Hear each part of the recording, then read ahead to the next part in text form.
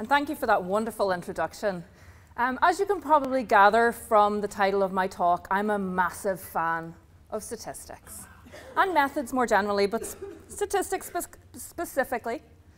Um, and I want you to think about um, how you might learn to love statistics and methods if you don't already. So, what I'm going to talk to you today is about, it's all about research, integrity, and the future of psychology. You guys are the future of psychology. You are our early career researchers. You are going to change what we know about statistics. And I'm going to tell, or not statistics, about the field, sorry, wider than statistics. You're going to change the field, and I'm going to tell you how you're going to do it. And I'm going to talk about five different things. I'm going to talk about stats life, I'm going to talk about collaboration, replication, interpretation, and education. So let's get started. So, we live in an unprecedented age. This is a really exciting time to choose psychology as a career. But I think we need to think about what the point of statistics is here today. We are sitting in a world where we talk about fake news. Anyone heard of uh, Trump? Anyone heard of Trump here? Good. We're not fully asleep after lunch. So in this Trump era, we're seeing figures plucked from the air, we're seeing figures manipulated, being used for certain agendas. We're not seeing the objective truth that we hope for when we think about statistics. We're also dealing with Brexit. Anyone heard of Brexit? Yeah, I know too. And regardless of whether you are leave or remain, it is absolutely factual that statistics have been manipulated to persuade people to vote one way or another. And possibly they may or may not have changed their minds since. Statistics has a reputational problem. We hear about lies, damned lies, and statistics. There are many books with this title, some are cartoons, some are like textual books. We have a reputational problem. And if you're ever on Twitter, is anyone here on Twitter? Excellent. I hope you're tweeting along. Feel free to tweet any of my slides. Obviously, if I look really bad, could you put a filter on or something like that um, to help me out? Um, but feel free to tweet along today. Um, and if you follow anybody who's a statistician on Twitter, quite often they can be really negative. Have you seen this paper? These figures don't add up. This person doesn't know how to use p-values. This technique is misapplied. And if you are in any way nervous about your statistics and applying these methods, this might make you very cautious. So I think the, the purpose of your stats life and mine is to inform and educate. But in this new world order, we also have to learn to persuade using our statistics. This is not necessarily something we had to do before, but if the nasty people are doing it, then we need to be doing it on the side of justice and psychology. And we have this incredible opportunity to use our statistics for good. So I said I would talk about collaboration. Collaborate and build a team. Statistics does not happen in a vacuum. I'm very fortunate at Ulster University that we have a lot of really incredible statisticians we have a number of statistics courses and things like that, and I have this lovely team that I can work with. That may not be the case for you. If you're stuck, you can always, you can always email me. My email address is at the end as well if you're stuck and on your own with statistics. But build your team. And there's some sneaky ways to do it as well, because we always like sneaky ways. We don't always want everything handed to us. So if you don't have the people in your department, what can you do? Well, you can create a special interest group at your university try and find other people, talk to other people. Sometimes you can send those big staff emails around to everybody and try and build up maybe a journal group or some other group that helps to, to work with stats. You can also use uh, mailing lists. JISC mail is a good one. You can get them on topic, so things like network analysis, or you can get them on things like software like Stata or Mplus. So try those. You can also go on training courses. Training courses are brilliant. Because not only are you training with other people who are at the same stage as you, but you can then make them your friends afterwards, and they can become your wonderful statistical networking team. And that is what's going to help you uh, when we move away from those really polished examples and you're using your own data and all sorts of things come up and models are not identifying and you don't know what's going on and why is this happening. Because as I know, as somebody who does a lot of training courses in statistics, we use kind of sanitized data because we know it works and things like that. When you're using your own, things tend to get messy. So that's when you need your friends. So how do you do that? Your business cards. If your university don't let you do business cards because you're a PhD student, swap emails. Make this work for you. The other one is PsyPAG. Do we have anybody from PsyPAG here? PsyPAG is wonderful. I cannot stress that more highly enough. They have all sorts of supportive networks for you as a postgraduate. I highly recommend that you get involved with them one way or another. They also have mailing lists and all sorts of fantastic things. Um, and one last thing, based on a conversation I just had with uh, a lady next door, is just to remember that stats is a new language. It's not hard, but it is hard work. So, you know, if you're finding it difficult, believe in yourself that you can do it.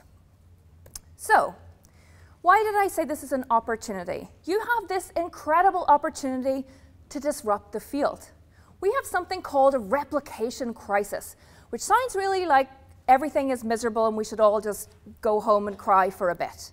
Now, you can go and do that, or we can turn that on its head and see this as an opportunity to challenge what's going on and what is known in psychology with research you're doing today. Uh, the Open Science uh, collaboration did this repli replicability exercise, which is a really hard word to say, um, and they found around 28% of studies could be replicated. This is not great, people. So this is our opportunity to find out what's really going on, to really understand uh, behavior, and to really use psychology to inform, to educate, uh, and to persuade. So this is the most text-heavy slide that I have, because I get a little bit excited about p-values. The truth is, most people do. You need to work with but not be fooled by p-values. And this cartoon on the right, or the right-hand side is a bit of a funny thing, but actually you will see a lot of the times in the literature, I do a lot of statistical reviewing for journals, for like funding boards, and you get approaching significance and all these kind of woolly, random, nonsensical statements. Avoid those like the plague. We're all doing amazing science in here. We don't need those kind of things. Embrace the uncertainty report the point estimates and the spread of data. So we want to think about confidence intervals, standard deviations, those kind of things. It's not enough just to tell us what the mean was, but give us more information so we can make those kind of judgments. And embrace uncertainty, because if we find that p is less than 0.05, yes, that is a fun thing to find, but it's actually not, doesn't make it absolute. This is, no law, this is not the absolute truth now. Report your data with precision. P equals is your friend. P is less than 0.05 is meaningless in the New World Order. It's always P equals. And you can report with precision, and you don't even have to make up how this precision looks, because other people in your team that are not like really linked with your team, but if you see as the rest of the field as your team as well as the people that you know one-on-one, -on -one, something called the Equator Network has a whole range of ways to report data on lots of different study designs, including qualitative and quantitative designs. Use those tools to your benefit. You should neither over nor understate your findings. There's a tendency for early career researchers to go, oh, it's just, mm, it's just a little finding. Oh, mm. don't be doing that. Tell people what you found and tell them why it's important don't forget to talk about the limitations and the explanations around what you've got as statistics. And don't overstate. This is, this is one paper will not change everything. You, it's all about adding uh, to data in a certain direction. And educate yourself about P.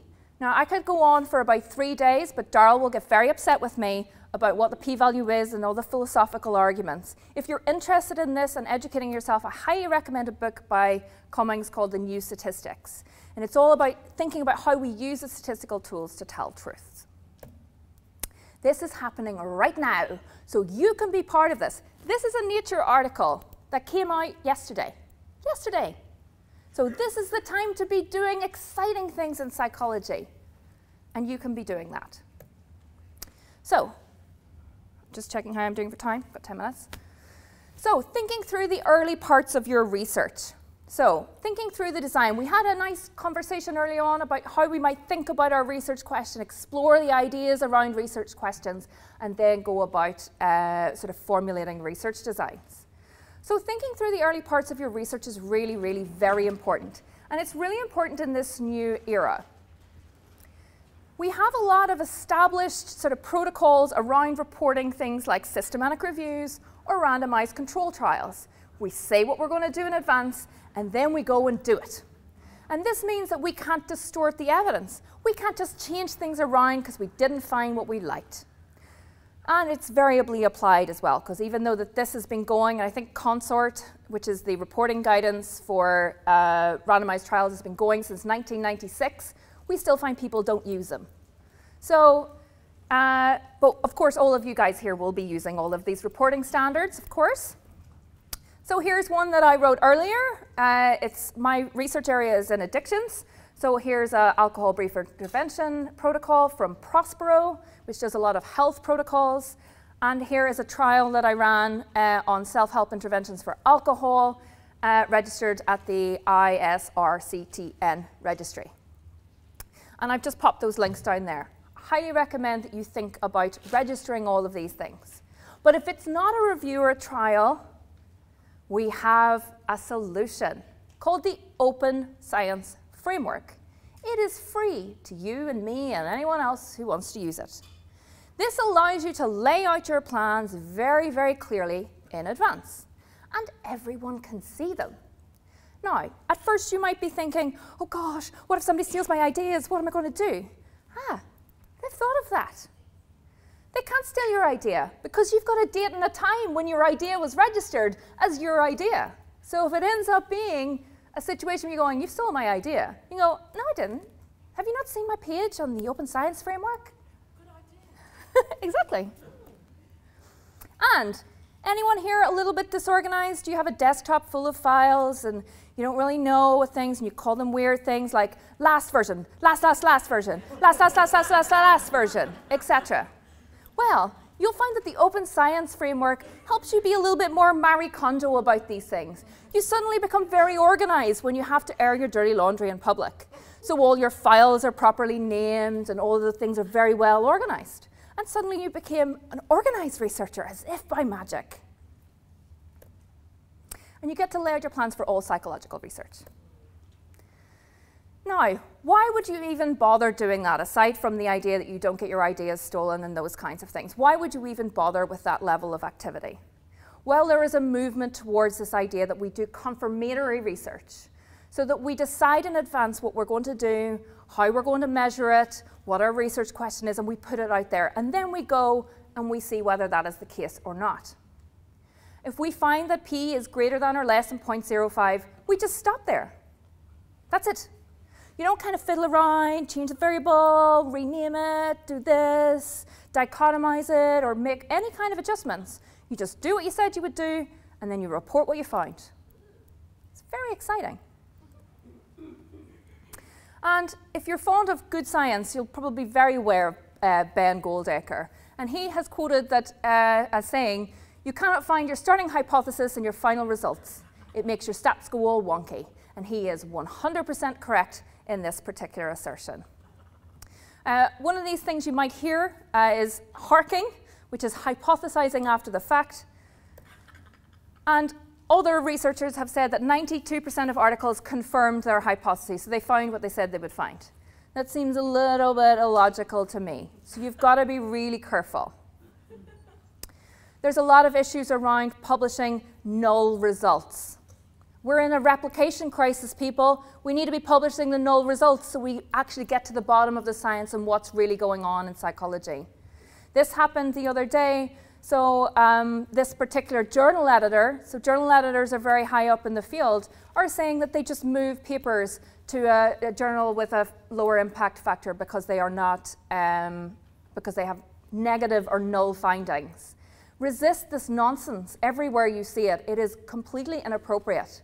We need to be reporting null results or negative findings. So we don't all end up heading down a black hole that everyone else has been down and found nothing in. It means we're free to do other kinds of science. Oh, so don't publish whatever, uh, you need to publish whatever P you find, is what I'm trying to say. And resist all efforts from people who may be more senior than you, challenge them, because this is what science depends on this. Psychological science depends on this. I'm a big fan, if your gut is telling you that there's something not right with the analysis that you've done, then you need to keep going round and making sure that you get it right. Double check things, double check the figures from the tables from your output. If you feel that something's not quite right, do not put anything in the public domain until you're absolutely sure you've got your stats right. And I know all these things are a matter of degree, but go with your gut and feel comfortable because there are new machine learning techniques and things like stats.io that people can run your paper through this. You can also run your paper through this as well online. Um, and it will tell you if there's something wrong with your stats from a mathematical point of view. And you don't want to be caught out. And it's only going to get worse. They're only going to find new and more exciting ways that I don't understand as a non-computer scientist to find us out. So get your stats right.